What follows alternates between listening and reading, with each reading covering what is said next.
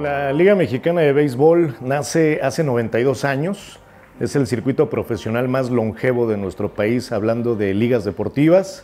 Es eh, un circuito profesional que ha presentado diferentes vicisitudes, que ha sorteado diferentes retos y que me parece que hoy se consolida como el segundo circuito profesional más importante de nuestro país.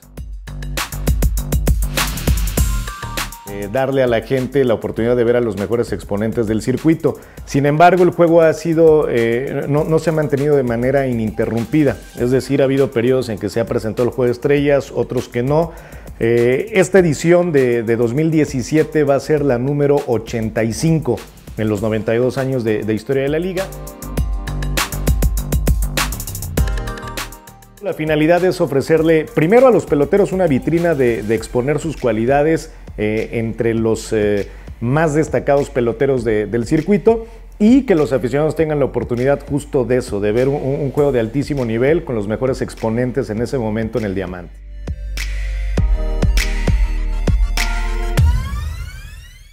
Actualmente la, selección se hace con base en una votación que está abierta a los aficionados para elegir a los jugadores de posición.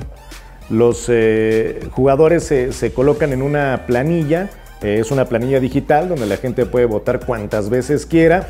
Se establece un periodo de votación que en esta ocasión eh, vence el próximo 7 de junio de cara a lo que será el Juego de Estrellas el 18 de junio en Campeche. Y los managers de cada una de las dos selecciones con un comité de selecciones, uno de la zona norte, otro de la zona sur, seleccionan a los lanzadores con base en sus estadísticas.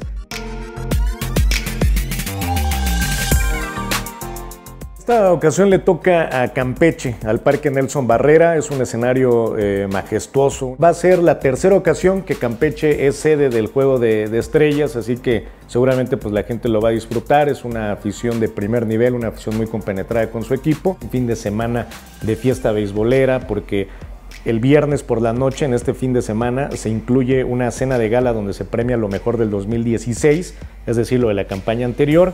El sábado tendremos, eh, además del Home Run Derby por la noche, un cóctel que es eh, un evento social donde se entregan los anillos a los peloteros participantes de esa edición. Y el domingo eh, es el platillo estelar con el juego de estrellas como tal.